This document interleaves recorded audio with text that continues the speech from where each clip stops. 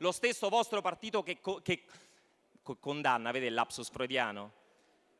che candida uno come De Luca in Campania condannato in primo grado e ci venite a dire che non ci sono i soldi, che serve più Europa, sempre le solite balle, sempre le solite balle, Presidente Renzi. La verità, e concludo, mi ascolti bene, che se gli italiani che si impiccano o gli africani che fuggono